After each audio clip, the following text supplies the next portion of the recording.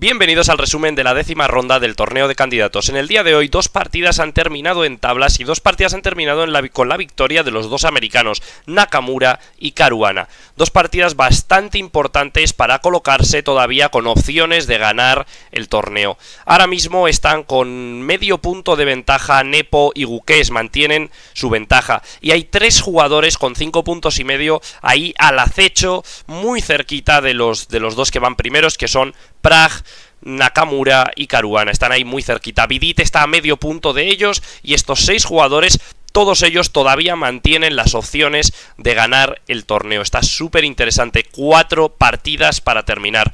Y en el día de hoy tenemos un invitado muy especial. Tenemos aquí a Mauro de Ajedrez Artauro que ahora os va a contar un poquito más sobre él. Y vamos también a comentar una polémica que ha habido en el torneo de candidatos con varios de sus jugadores.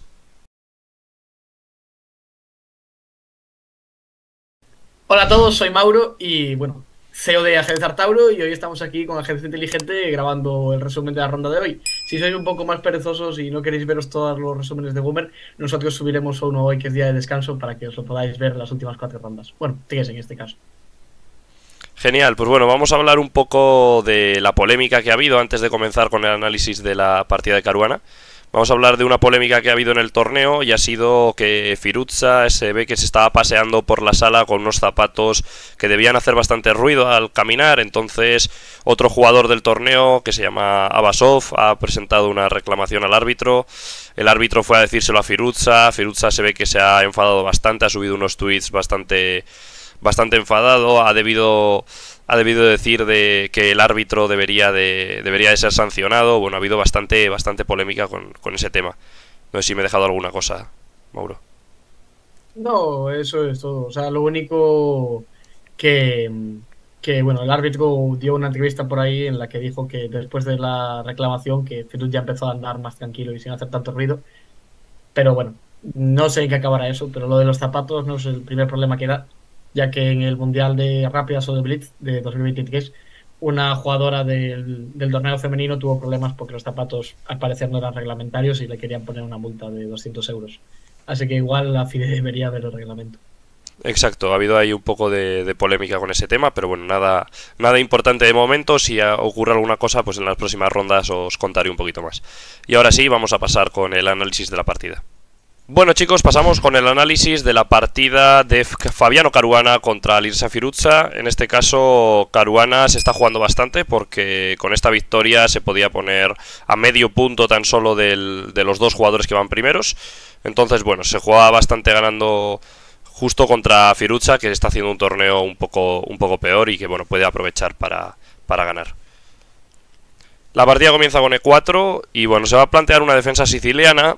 Eh, una de las variantes, si no la variante más jugada de, de la defensa siciliana, que es la variante Nagdorf. Eh, yo ahora mismo no estoy seguro de si es la variante más jugada, pero creo que sí, ¿no? Dentro de la siciliana. Sí, a nivel élite seguro. Seguro. Entonces, bueno, creo que es creo que es bastante interesante. Hay un montón de líneas en esta posición. Eh, yo conozco alfil E2 seguro, alfil G5, alfil E3, H3 seguro se puede, dama D3, H3. Yo creo que incluso. Uy, eso no. Yo creo que incluso H4 se puede hacer.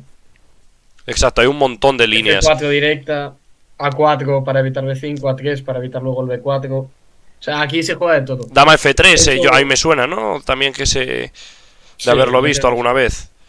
Eh, torre G1, que es la que se hizo en la partida, es decir, hay muchísimas líneas. Entonces, bueno. Ah, yo, yo creo que. O sea, esta se juega mucho en la elite porque es muy complicada pero hay que saber mucho. De cara a jugar con. De cara a ser jugada por jugadores más débiles, la verdad que es. La verdad que tiene que ser muy difícil entender esto, pero bueno, los jugadores de la élite lo consiguen y se que venga a jugar la Nidor. Que bueno, el principal problema es esto, que hay demasiadas líneas que aprenderse.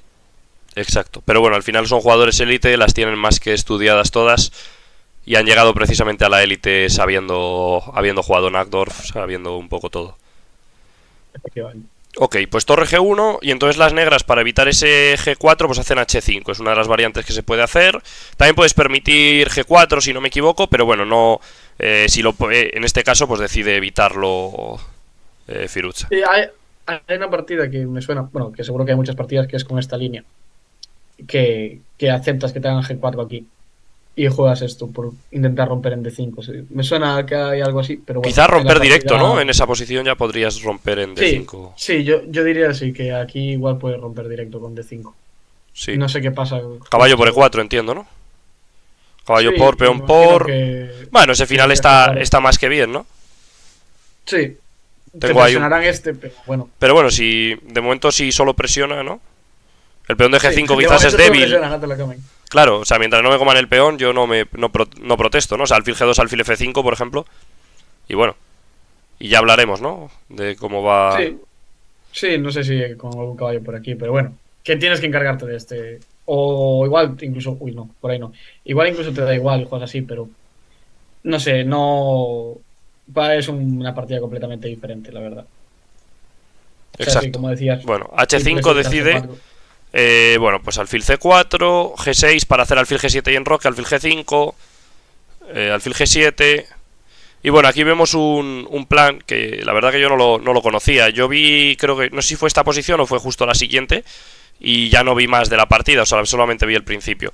Vi hasta por aquí. Y entonces yo, bueno, pues no, no conocía ese plan, pero me parece muy interesante jugar con el plan que se hizo en la partida. Aunque quizá no coincida mucho con el estilo de Firucha, pero bueno, al final teniendo ese elo deberías de controlar muy bien todos los estilos, no solamente el más táctico, pero viene jugando un candidato muy táctico, muy agresivo, muy creativo también. Y bueno, ese plan que hizo quizá le da le, le lleva a unas posiciones en las que Caruana es mucho más poderoso, que son esos finales, esas posiciones estratégicas tranquilas. Sí. A ver, la verdad que la idea tiene mucho sentido. Al final, si has hecho torre G1 no te vas a poder enrocar por este lado. Y si te enrocas por este lado, igual tienes algún problema en la diagonal. Y en la partida, pues claro, la idea es poder sacrificar la dama y con esta fila H6 clavar un posible rey en C1. Que bueno, veremos más adelante qué pasa en la partida y pues soltar un poco la presión que esta fila en G5 está, está metiendo. Exacto. Bueno, de hecho las, las blancas hicieron enroque corto y las negras hicieron caballo C6. Sí, y aquí ya vemos que, está el sacrificio. Te atacan la dama y no vas a perder tiempo llevándola para atrás otra vez. Entonces, pues la, sacrificas. Además, me, me, parece una idea muy buena. Has esperado para haciendo caballo C6 para evitar eso. O sea, no sé, me parece todo un plan, un plan muy interesante. Sí, la verdad que no, no lo forzó aquí buscándolo y en el momento que ya sí que sí que no te queda otra, pues lo haces. Exacto. Dama por G5, alfil H6, me parece muy interesante. Y, H4. Sí, aquí llega el, primer error de Firuza que podría haber sido fatal, que es este alfil E6. Si quieres comentar tú por qué, Boomer. Sí, eh, bueno, alfil E6 a mí de hecho me parece una jugada que no...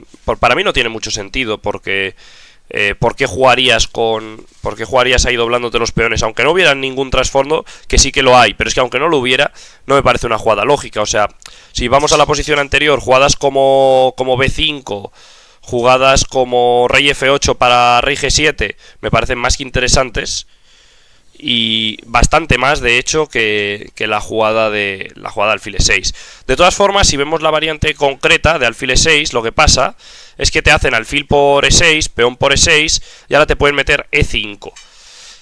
Y por así decirlo, la, idea de 5, aparte de atacar el peón de D6, eh, parece que el peón de E5 está débil, ¿no? Que te pueden comer con dos piezas. Pero si lo vemos un poco en profundidad, lo lógico sería comer de caballos, lo que tendría más sentido. Pero contra esa jugada justo hay F4, y entonces la dama deja de estar clavada, ataco el caballo, y si alfil por G5 para comerte la dama, como con H y ataco 2.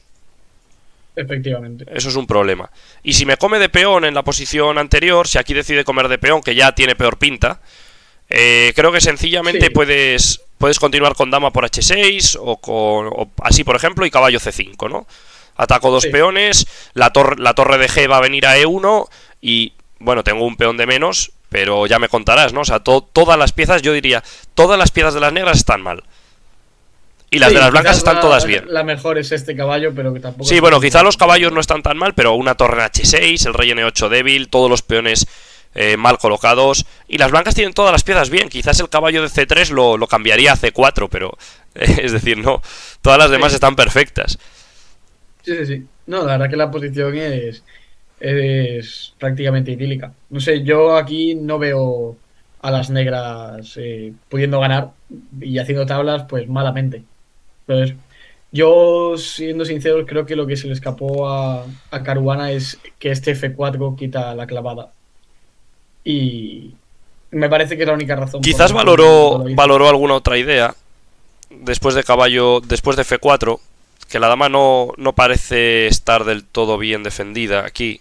No sé, alguna otra idea.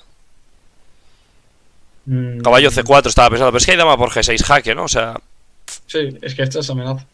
es una amenaza dama por G6. Caballo F7, no lo sé. También hay dama por...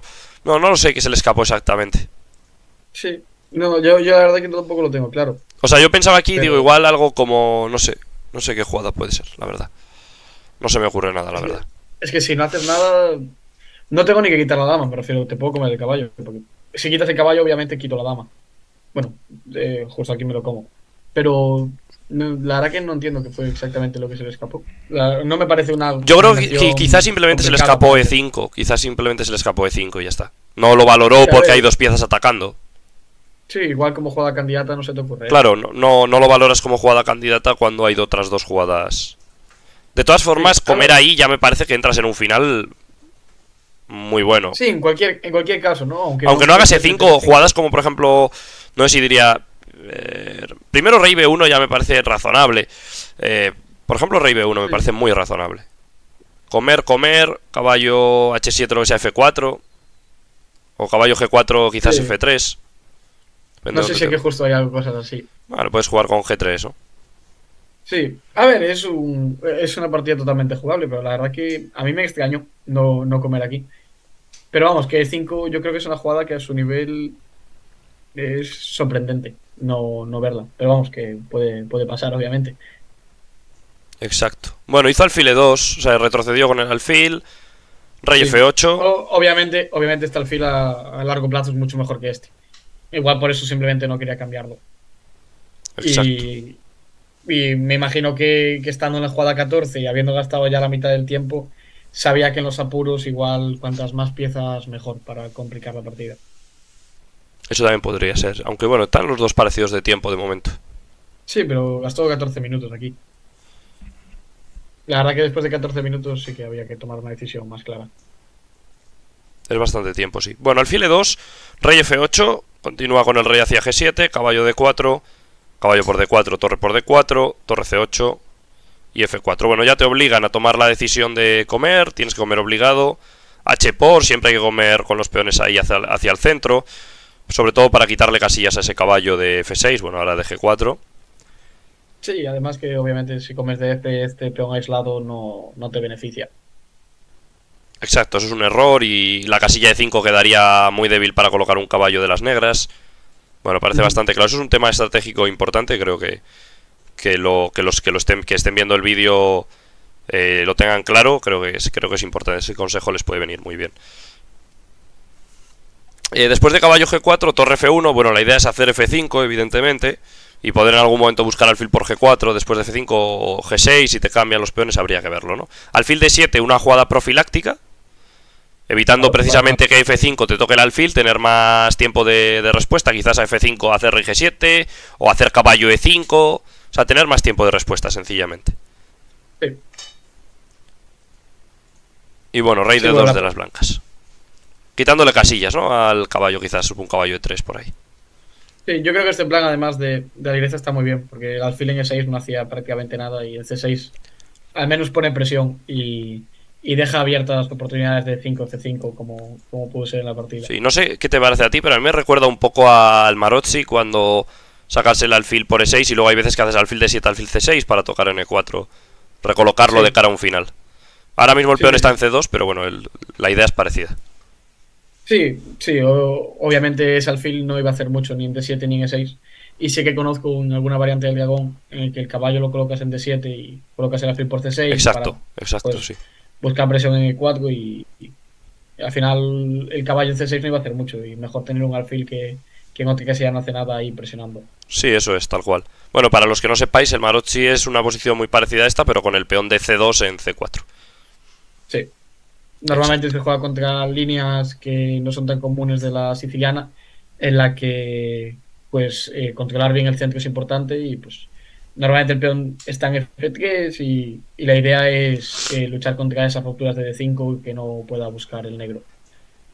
Exacto. Vale, bueno, continuó la partida de forma bastante tranquila. Caballo de 5, una jugada normal, F5, eh, peón por F6 para desdoblarte el peón, caballo por C4 ahora, como digo, llegando a una posición cercana o parecida a un Marozzi, rey G7, caballo por E7, caballo por E4, hay un poco juego complicado.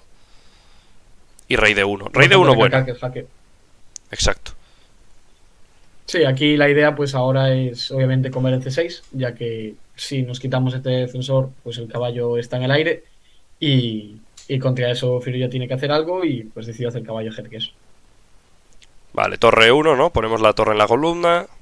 Sí, defendemos bien el alfil. Y caballo F5. Bueno, eh, te obligan a decidir qué pieza te vas a comer. Eh, la verdad que parece lógico comer en F5 y no en C6, porque bueno, luego vas a tener varias debilidades. El caballo en F5 además va a ser bastante bueno. Yo siempre he sido partidario más de los alfiles que de los caballos, pero justo en esta posición parece, eh, parece mala idea, ¿no? Parece mejor idea cambiar en F lo que pasó prácticamente en partida, pero bueno, cambiar en F5 y comer en D6, ¿no? Primero alfil D3 para tocar otro peón distinto, pero bueno, realmente la idea es esa, comer en D6.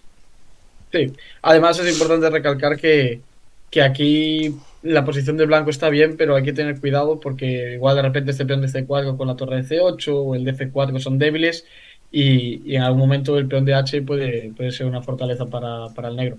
Y bueno, si comes en F5 ahora estos dos peones pues están los dos eh, separados y pues es más fácil atacarlos. Y como pasó en la partida pues tiene que dedicarse a defender los y, y Caruana pone presión. Exacto. Bueno, en esta posición las, las blancas hacen una jugada que creo que, creo que es bastante buena. Eh, das el jaque en E7, metiendo la torre en la séptima fila. Rey G6. Y torre, torre 5. Bueno, parece que atas bastante la posición. Bueno, torre 5 tiene una amenaza evidente que es alfil por F5 o torre por, habría que valorar, ¿no? Eh, pero bueno, el caso es que no puedes comer con la torre, pues porque la torre está clavada por la torre de D6. Efectivamente. Aquí, pues, se entiende un poco la idea de Firut, ya que, bueno, el módulo dice que es incorrecta, pero la idea de este, de este H4 es dar esta casilla de H5 a la torre para poder defender en F5 de una manera, pues, un poco artística, se podría decir. Exacto, tienes ahí una defensa un poco rara, quizá, ¿no? Sí, de hecho, en esta posición veíamos que tras torre H5 las blancas tenían una jugada muy buena que no hicieron, hicieron alfil F1 defendiendo el peón, pero tenían otra forma de defender el peón de forma indirecta, con torre de 8, si no me equivoco. Efectivamente, y si te comen el, peón, tienes este torre G8 jaque, y quite donde quite el rey, a cualquiera de estas tres casillas, ahora nos comemos el alfil y tenemos una pieza de más. Además de ello, habría que tener cuidado porque la amenaza sigue siendo torre G8 y en caso de esta F7, esta alfil C4, pongamos una jugada eh, cualquiera para, verlo.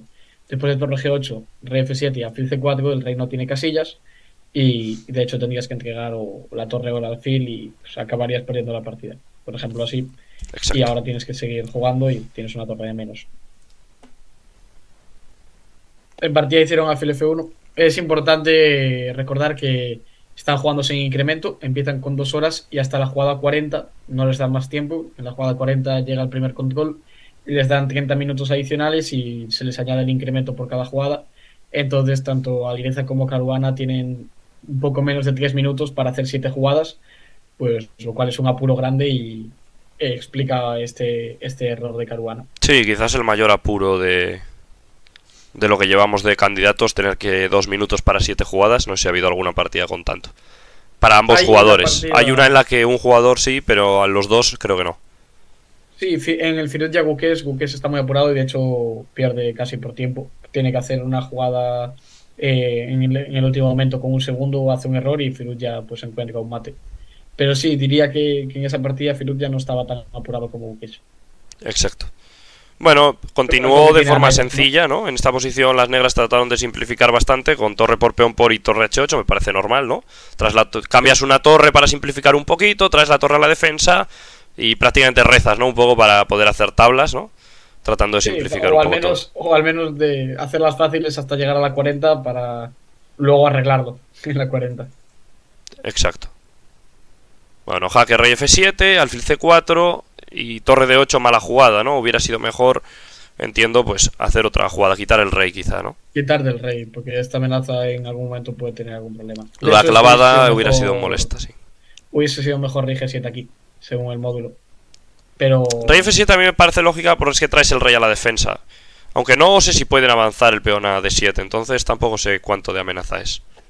Ya. Bueno, continúo con torre de 8. Torre, eh, perdón, rey E1. Le dejas prácticamente en Zuzban, te quitas de la clavada con el peón. Exacto, que estaba aquí molestando. Rey G7 y rey F2. Dejas defendido tu peón y ahora está prácticamente todo defendido. Y, y ahora va a haber que ver cómo, cómo dar vueltas, ¿no? Ya están más cerca del control. 8 segundos para Firuza, es una cosa curiosa. Sí, para dos jugadas. Y bueno, sí. Para tres, creo, ¿no? O... No, es, o sea, en la 40, si no me equivoco, el reloj no te pone el tiempo, te lo pone en la que da en el 41. Pero es un funcionamiento un poco raro, porque en el momento que te quedas sin tiempo, se te añade lo otro. Es raro, o sea, tú llegas al cero y de repente te añaden los 30 minutos. Yo me equivocaría seguro jugando con esos relojes, pero ellos lo entienden bien. No, como iba a decir, es importante defender este peón de G2, porque sí que la posición blanca es muy buena, pero en un momento te quitan este peón, y si nos lo imaginamos así, el peón de H corre mucho y ahora hay que preocuparse por él. Entonces esta maniobra de rey 1 y rey F2 está muy bien buscada. Exacto. Vale, entonces rey F2, A5, realmente está solamente pasando movimientos, a B5. Sí. Y alfil de 5 y bueno, ya están en el control, ¿no? Sí. Bueno, después de este, están en el control. Que justo aquí le da con 3 segundos al reloj Perugia. Y obviamente aquí llegando al control ya es hora de pensar y, y Caruana encuentra la combinación buena, que es este torre 7, para comer en B5 y meternos en este final sin torres, que con mucha clase pues Caruana va a acabar ganando. Si quieres explicar tu... Sí, vamos a ver hasta dónde llegaron, hasta la posición que llegaron. Con... Sí. Vale, bueno. Y aquí es donde se rindió. Exacto. La idea, la idea es muy sencilla. Vamos a colocar el, rey en H3. No tiene forma de evitarlo, evidentemente. El rey está atado al peón de F5. Alguien pensaría, ¿qué pasa si nos hacen alfil de 1 alfil G4, por ejemplo? Defienden todo, el rey no se puede acercar. Bueno, pues entonces haces B4, B5 y vas a ganar la partida. No pueden defenderte, ¿no? Peón por, peón por. Y si el rey intenta acercarse, si hacemos el método del cuadradito, pues bueno, parece que no, que no va a tener, ¿no? Opción. Bueno, ahora justo rey F7 quizás. Habría que valorar el alfil, también va a molestar, ¿no? Sí. A ver, en cualquier momento... A mí me gustaría, a mí me gustaría, por ejemplo, se me ocurre alfil, alfil C6 para alfil F3. Mira el módulo cómo ha cambiado la valoración rápidamente, ¿no? Cómo sube la barra según hago la jugada buena. Soy mejor que la máquina, ¿no? sí, sí, sí, sí. Bueno, la idea es hacer alfil F3, o sea, si rey E6, por ejemplo, que sería una jugada normal, eh, pues entonces alfil F3. Eh, la idea es simplemente... No nos pueden comer, porque ahora nos comemos este, y mientras el rey va hasta aquí, nos comeríamos el de F5. Y si no come, voy a hacer alfil por G4, y tengo dos peones que son peones colgantes, eh, no puedes defender los dos, peones eléctricos, perdón, y bueno, están muy alejados, ¿no? Peones colgantes es otra cosa. peones eléctricos. De hecho, sería, sería bastante común aquí hacer headguess, si no me equivoco. Y aunque el rey no pueda moverse. Eh, sí, o incluso no, no, hace falta ni siquiera hacer yo creo G3. No puede pararlos, ¿no? O sea, si antes de G3 ni siquiera B5 creo que ya está, ¿no? O sea, B5 y es que no puedes parar todo. Sí, sí, sí. Es decir, estos dos peones corren los dos a la vez y el rey no puede estar en. Exacto, los vas avanzando 1-1, 1-1, 1-1 y, y el rey no puede estar a todo. Efectivamente. Ah, el G3 era un poco por ya bloquear todo, pero sí. Sí, también G3, bueno, podrías. sí, la puedes implementar, pero es innecesaria, sí. Bueno, la pues partida, pues ya, ya calculando eso, decidió rendirse aquí. Sí, o sea, parece bastante sencillo la forma de ganar, no tiene, no tiene mucho misterio. Y bueno, espero que os haya gustado esta partida de Caruana. Quedan cuatro rondas para el final. Está la cosa muy empatada. Cinco personas que están muy muy cerca. Prácticamente, prácticamente están ya al lado. Aquí tenemos la clasificación. Eh, yo diría que cinco personas con opciones serias de ganar el torneo. Diría que aunque pueda decir alguien, pues Vidit está tan solo medio punto con cinco puntos, la verdad que eh, sí, pero es que está, va sexto. Es decir, se van a enfrentar entre ellos, va a haber victorias. Para que, aunque Vidit gane alguna partida... claro, aunque Vidit ganara alguna partida, los demás que están arriba también ganarán alguna partida y entonces se le van a seguir manteniendo en la distancia. Es decir, si uno de los de 6 puntos gana ahora una partida, Vidit ya no puede hacer tablas si quiere ganar el torneo. O sea, es que está así de lejos. Entonces, aunque parece que está solo a, un punto, necesita ganar dos partidas que el otro haga tablas. Y quedan cuatro. Si uno de los de arriba gana, necesitaría ganar tres partidas y solo hacer unas tablas. De hecho, ganar cuatro para poder ponerse por delante en puntos y tres para ponerse empatado. Tendría que ganar todas. Entonces ya está mucho más complicado. Sin embargo, los que están a medio punto, siempre hay una partida que le ganas a uno que va a medio punto más y entonces te colocas medio por encima. Eso podría ser. Entonces hay cinco jugadores con claras opciones además. Tablas, ganas. Claro, con claras opciones, jugando bastante bien. Bueno, además esta ronda, la de mañana, va a ser importante. Porque si os fijáis en quién juega contra quién, justo juegan Firuzja contra Basov, que son los dos que tienen cero oportunidades, y los otros seis juegan entre ellos.